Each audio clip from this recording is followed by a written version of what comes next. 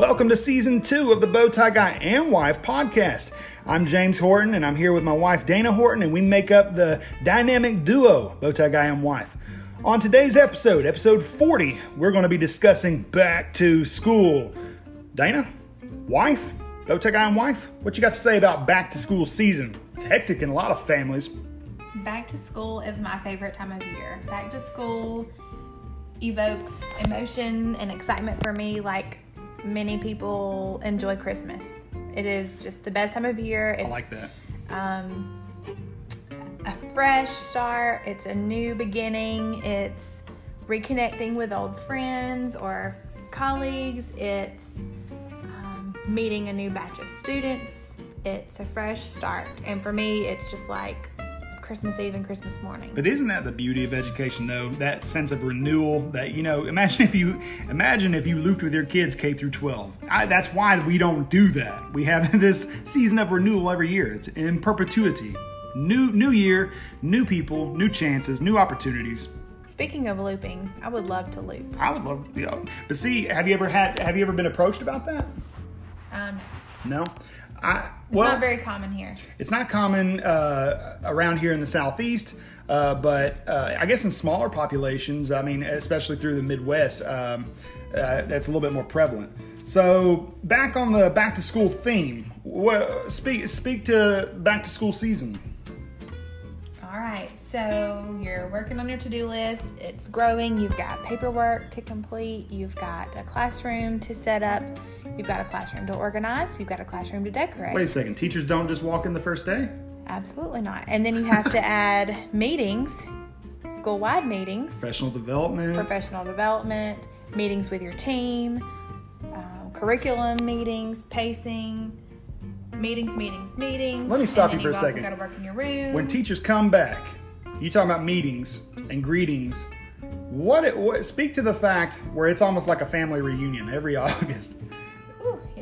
No, uh, so what's it like? So you come back that first day back, uh, ladies and gentlemen, and listeners of this podcast. You look, you just need to prepare that first day back. You're not getting anything done. It's nothing but pageantry, baby. No. It's catching up. It's a family reunion, and you need to treat it as such. Yes. So we always joke about wanting to go right in that first day and get started and tackle that to do list and just accomplish so much, but in reality, it ends up being just one big gab fest. Catching up. Let, now, let me ask you a question: Were you a door closer, yes. and you didn't? It didn't bother you? No. Why? Okay, speak to our listeners right now. Wh- Who's a door closer? why? Why would someone? Why would a teacher, a professional, close their door to the hallway? So you know when like there's this big group of your colleagues out in the hallway and they're all chit chatting about nothing and meanwhile you want to maximize all of your time there because you've got so much to do. So I'll quietly go close my door and get to work. Are the potential consequences of being a door closer? I guess you could be seen as an extrovert. No, Introvert, there you go. Um, which is funny because I am an extrovert, but sometimes I appear like an introvert. So um, Did you become- I guess you could be seen as snooty or. Did you become more of a door closer when you had children? So when you had Yes, to maximize your time. maximize my time at school more efficiently and effectively. But- so I had to, I had to just shut the door. I didn't have time to talk. But speak speak to the person that is a politician. Uh, do you, you do have to be a politician whether you like it or not, but uh, that is a delicate balance between politics and getting your work done. So I'm all about the balance, and I'm all about the um, hustle, and I'm all about having good relationships with my coworkers. So if anyone ever had anything to say, they could just come to my classroom, and I could multitask as they were chatting with me about something. And hopefully that's not seen as offensive or rude because it's multitasking. All right, moving on. So um, yeah, don't be mean about it. But if you've got things to do, shut your door and move along. You know, I, I've been that guy who stuck around too long. You know what I'm saying? Like, I love to talk. I got the gift of gab, but uh, you quickly figure out when your time is uh, when when, when the teachers are, are busy and they, they're being occupied. Look, it, it's time to go. All right. you don't want to be a stage four clinger. Okay, so um, speaking of clinkers, um, back to school and parents.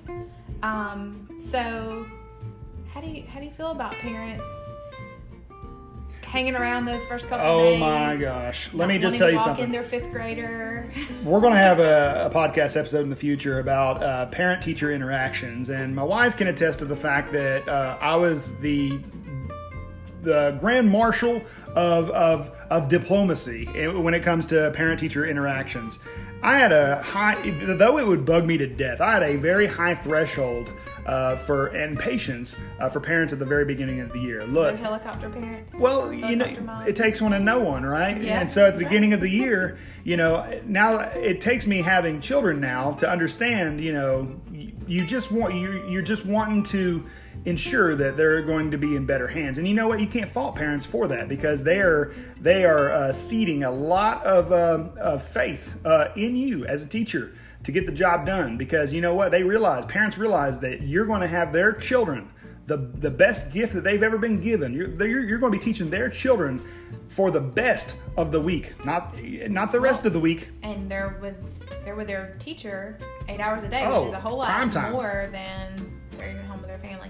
Um, so speaking of parents, if you are looking for a way to um, get to know your students better before the year even gets started, it's always great for us to survey the parents. I love hearing from Oh, yes. the parents' point of view. So if you check out our blog, we do have a parent survey that you can print. It's a free printable Where can they find our blog at? um, www.bowtieguyandwife.com. Click on blog, and then you'll see our back to school post there with a link for it. You can also download it on TPT for free. But it's just a great way to begin that partnership with parents and to um, let them know that you're invested and that you actually care about their child and you want to know about them. And it just starts the year on a really good note. Can I ask you a question? How many times you find yourself in tears though from the authenticity, the transparency, and the just the realness coming from the parents, especially when it comes to their children reading? Yes. So, you know, your emotions are already high at the beginning of the year. You've got, uh, you're, you're sleep deprived, you've got a thousand things to do, but taking the time to sit down and reading the replies from these surveys, yes, it would bring us bring me to tears every single time just because you can hear the heart behind their Yes. words and their Yep. concerns a lot of the parents would express They love their children. concerns over um, what their child is struggling with or um, their child just frankly not even liking school so just knowing that from the beginning helps you to really reach out to those families that have had a hard time in the past with school and with those students that need your extra attention And so, you know, and, and plus, in asking the parents, you know, what works for them at home in terms of behavior management. And you know what? You want to be on the same team. I mean, look, no one wants to go to war and, and go, you know, have, a, have an opponent. You want them to be on your side. So, you know, a great initiation to the school year would be eliciting um, a survey. Uh, to gather some anecdotal information that it's just one piece of the puzzle, baby. Just like with other teachers that you survey the the prior year, you don't want to you don't want it to be the end all be all, but all of them are just pieces of the puzzle to help inform you, uh, which is the vehicle of I guess information to help you teach their children.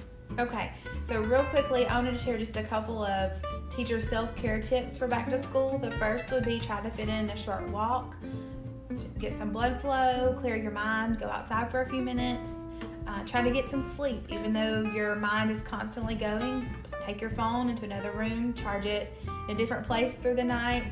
Uh, diffuse some lavender, get a new pillow, whatever sound- it takes. it sounds like you're speaking not only to teachers but also parents and students as well. Yes. But primarily, we're focusing on teachers. Uh, so, what do you have more tips?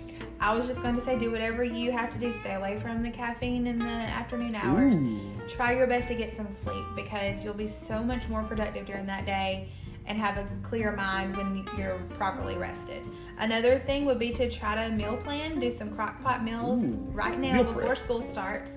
And that way, that's one less thing that has to be on your mind. Pop, pop it in the crock pot in the morning before you leave, and that way you're not shoveling down fast food for four nights of the week um, during the first weeks of school because we all know how quickly those pounds can add on and how Yeah. it's It can get really unhealthy for you anyway.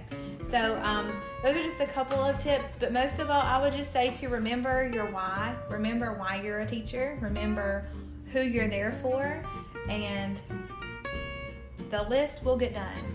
You know the what? To-do list will get done. So your final word for the podcast, your list will get done. Remember your why. I'm gonna piggyback on what she said because that was some gold right there. But I will tell you, in the fall of 2019, this year, coming up in 2020, we have a census year, so we'll get very refined population figures. But I'll go ahead and tell you that, you know, my final thought for today. Look, 56.6 million students entered schools in the United States in the fall. That number is 56.6 million students. Let's go ahead and replace the word students. Boys and girls, ladies and gentlemen, children of all ages, let me tell you something. That's 56.6 million opportunities to change the world. Remember Love that. That's great. Well, you know what? Because there are a lot of you. You may be down and in the in the dumps about current affairs and the news and all that, but look, that's an awful doggone lot of opportunity. So be the change you want to see in the world. To quote my boy Mahatma Gandhi, and have yourself a fantastic day. This is the Bowtie Guy and Wife, and we'll catch you in the next episode. We'll see you later.